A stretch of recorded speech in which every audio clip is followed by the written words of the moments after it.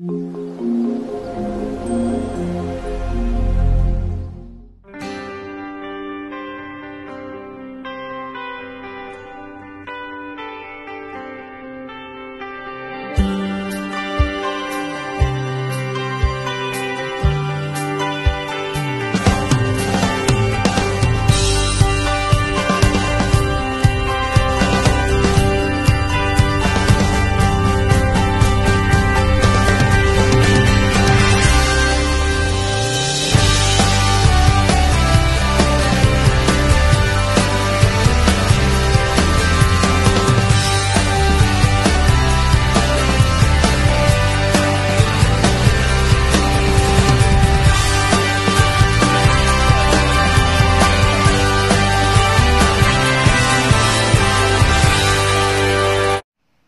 สวัสดีจ้าเมไกมาแจงข่าวให้ทราบอีกเนาะค่ะเนาะวันที่ 9 พฤษภาคม 2563 นะคะ เวลา 17.23 น นะคะเนาะ17 นาฬิกา 23 นาทีนะคะ อดีตรัฐมนตรีคลัง ลั่นมีบัตรประชาชนควรได้รับเยียวยาเท่ากันทุกคนนะคะ เรามาดูเนื้อหารายละเอียดกันเนาะจ้าเนาะเพิ่นกับผ่านหัวข้าวว่า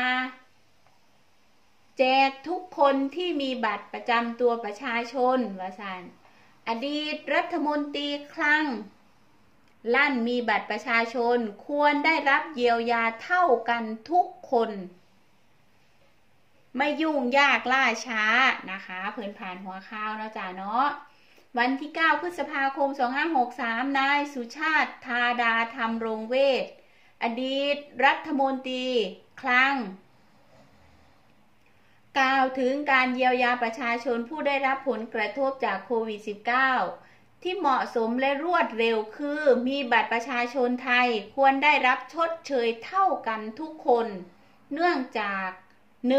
1. รัฐบาลไทยใช้เงินจำนวนมากถึง 1.9 ล้านล้านบาทคิดเป็น 11.4%ของผลผลิตของชาติหรือเพื่อนใช้ตัวย่อว่า GDP นะคะ อันนี้ก็คือผลผลิตของชาตินะคะ เพื่อแก้วิกฤตโรคระบาดโควิด -19 โดยเป็นการกู้เงินถึง 1 ล้านล้านบาท ประชาชนไทยทุกคนจะร่วมกันเป็นหนี้เพิ่มขึ้น ซึ่งจะต้องเก็บภาษีในอนาคตใช้คืนนะคะ อันนี้คือที่ไปที่มานะคะ เรามาดูเรามาดูต่อนะคะ ข้อ 2 ท่านก็บอกว่า รัฐบาลมีเป้าหมายกู้เงิน เพื่อมาชดเชยเยียวยาประชาชน 6 แสนล้านบาท และฟื้นฟูเศรษฐกิจ 4 แสนล้านบาท ต่อไปข้อที่ 3 นะคะ วิธีการเยียวยาของรัฐบาลมีเงื่อนไขยุ่งยาก ชดเชยประชาชนแต่ละคนไม่เหมือนกัน และไม่เท่ากัน เช่น การให้ประชาชนที่ค้าขายทำงานเอง และแรงงานที่ไม่อยู่ในระบบประกันสังคม คนละ 5,000 บาทต่อเดือน เป็นระยะเวลา 3 เดือน มีประชาชนลงทะเบียนกว่า 28 ล้านคน เดิมรัฐบาลจะให้ 9 ล้านคน แต่หลังๆมานี้รัฐบาลได้เพิ่มสิทธิ์เป็น 14 ล้านคน แล้วก็เพิ่มเป็น 16 ล้านคน เนื่องจากเงื่อนไขมาก จึงเกิดความล่าช้าไม่ทันการ ในขณะที่ประชาชน ไม่มีรายได้ไม่มีกินนะคะ อันนี้ท่านรัฐมนตรีว่าการกระทรวงการคลังคนเดิมท่านก็แจ้งเนาะจ้าเนาะเอามีข้อสี่ข้อหนึ่งนะคะ การชดเชยแรงงานในระบบประกันสังคมก็ยุ่งยาก ล่าช้าไม่เท่าเทียมกันนะคะ อันนี้สี่ข้อความเด็ดๆของท่านรัฐอดีตรัฐมนตรีสุชาติธาราธรรมรงเวทนะคะ ท่านก็กล่าวถึงการให้เงินเยียวยาช่วยเหลือประชาชนผู้ที่ได้รับผลกระทบเนี่ย